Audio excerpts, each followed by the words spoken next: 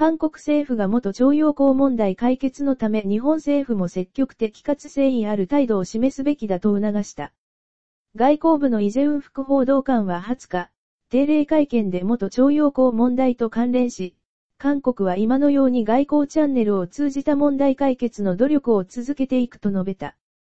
また、伊副報道官は日韓軍事情報包括保護協定延長期限満了を控え、政府側の対応があるのかという質問に対し、韓国政府はいつでもジーソミアを終了する権利を持っていると強調した。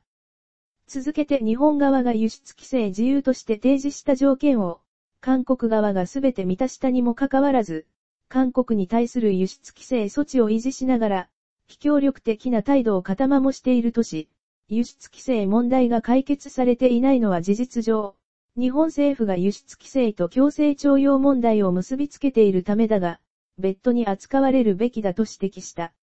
伊副報道官は韓国政府は輸出当局者間の協議再開を通じて、日本側が一日も早く輸出規制措置を原上復帰させることを引き続き促し、G ソミア終了通報の効力停止状態を忍耐を持ち維持していると付け加えた。